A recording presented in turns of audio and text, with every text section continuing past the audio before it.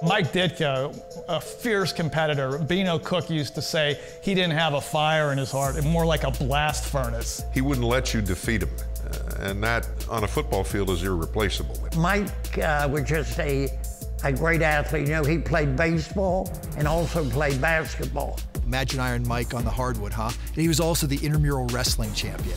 He was an athlete. He was what athletics is all about. He was a competitor, fierce competitor.